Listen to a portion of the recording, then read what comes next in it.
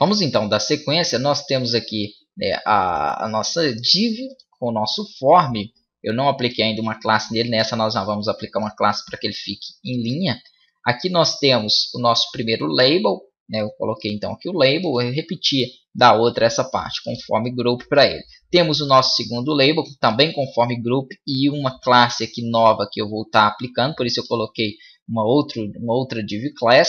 Né? Fiz aqui uma div class também para somente para reconhecer esse símbolozinho do arroba, que vai servir para smartphone. Então, smartphone, em vez dele mostrar o texto e-mail, celular, né? ou seja, a, a a menor medida. Em vez dele mostrar e-mail, ele vai mostrar então somente o arroba. Seria para isso. Aqui abaixo eu coloquei também um, um botão checkbox, né, que é uma caixa de seleção, perguntando aí, né, vai servir como se fosse para guardar, salvar o nome aí ou salvar a senha, salvar o e-mail que você quiser. Só um checkbox aqui para a gente poder trabalhar. Ela também vai receber uma pequena classe. Mantive o botão. Vamos ver até então como é que ficou isso. Deixa eu carregar ele aqui recarregar. Ok, percebam então que ele tirou aqui né, a formatação do nome e do e-mail. Já já nós vamos ver. E não está também em linha. Para que ele fique em linha, nós vamos precisar fazer alguns ajustes. Então aqui dentro do meu form vamos trabalhar uma classe para ele que é a classe form inline. Inline, ok, dessa forma aqui.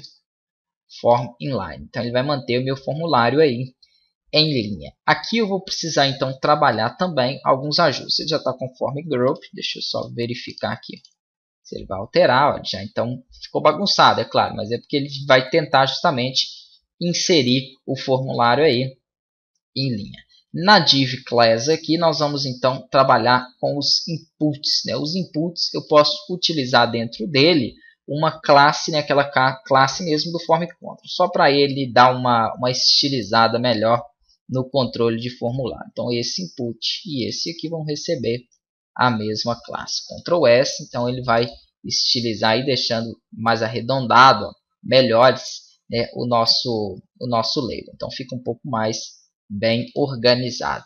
Vamos fazer aqui também o seguinte, além de trabalhar com essas duas opções, eu posso aqui inserir né, dentro do, do, do meu projeto aqui aquela opção de esconder ou ocultar esse e-mail. Então aqui dentro desse label eu posso utilizar uma classe class que é opa, o meu sr only.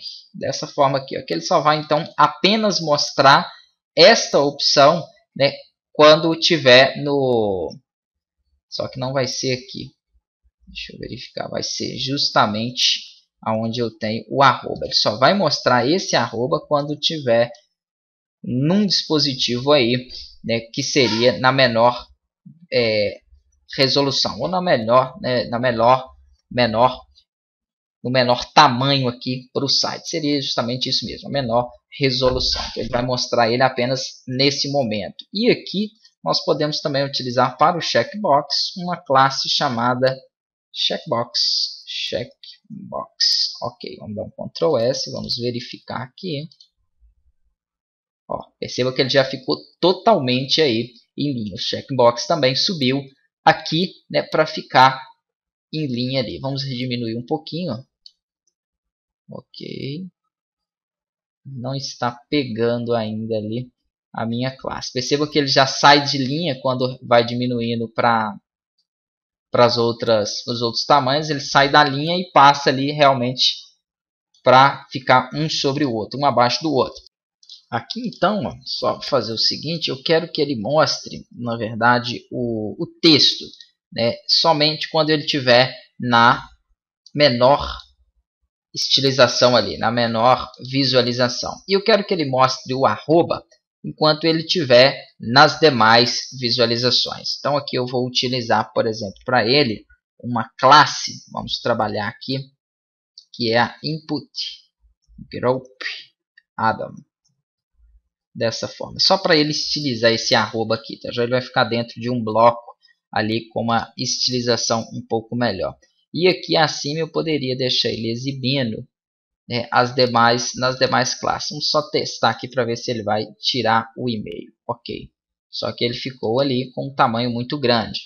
para corrigir isso aqui, ó, basta eu colocar aqui também que ele vai ter né, um form control, que aí ele vai então se ajustar como os demais para essa div aqui. Então, form control, ele vai então trabalhar ele com o mesmo tamanho dos demais opa, formulários. Deixa eu ver aqui porque que ele deu esse erro.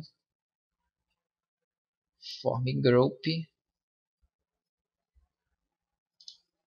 coloquei errado, não é um form control, ele tem que fazer parte de um é, de um grupo, tá? já vai ser um input group, senão ele não vai ficar realmente ajustado, só desceu ali conforme control, agora sim, então perfeito, de acordo com o que eu for redimensionando, ó, chegou aqui no tamanho né, do pequeno, o primeiro tamanho pequeno, que é o do tablet, ele vai então ficar um abaixo do outro, mesma coisa aqui para os tamanhos menores. Então, é dessa forma que nós ajustamos aí os formulários. Nós vamos ver mais um pouquinho ainda né, nas próximas aulas, trabalhar mais algumas propriedades aí de classe que nós ainda não utilizamos.